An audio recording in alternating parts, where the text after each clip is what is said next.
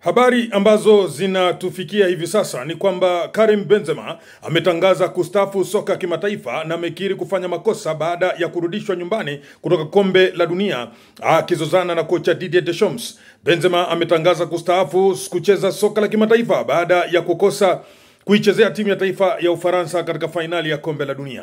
Benzema alirudishwa nyumbani usiku wa kuamkia ikiwa siku ya ngarambe iliyokuwa inafuata baada ya kupata jeraha, lakini kulikuwa na uvumi kwamba angeweza kurudi kwa fainali baada ya kucheza mechi ya kirafiki ambayo alikuwa anawakilisha klabu yake ya Real Madrid.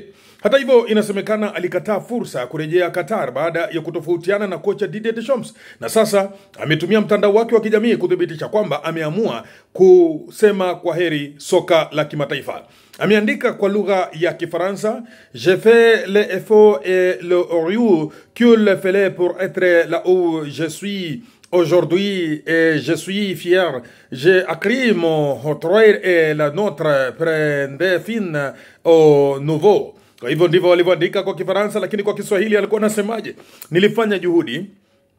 na kidogo tulitofautiana na nilichokuwa e, nafanya katika timu ya taifa ilikuwa ni kujitolea, na hii basi hapa imeweza kufikia kwamba najivunia kwa vile ambayo nimeichezea timu ya taifa ya Ufaransa hadi sasa. Nimeandika hadithi yangu na bila shaka historia yangu ambao wengi wanaweza kuisoma na ndio itadumu katika maisha ya wengi.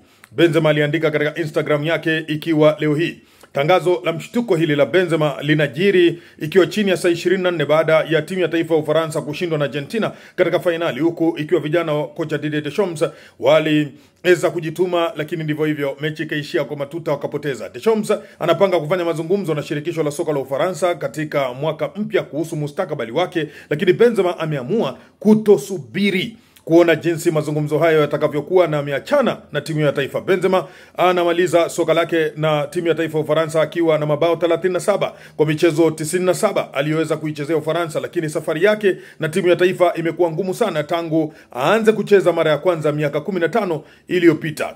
Songo mbwingo hili hadi lile kila wakati. Basi ndio hayo ambayo yamejiri. Benzema ameamua kustafu soka la kimataifa. Unaonaje uamuzi huo? Unaiathiri Ufaransa ama unasemaje? Hii ni Mkala Sports.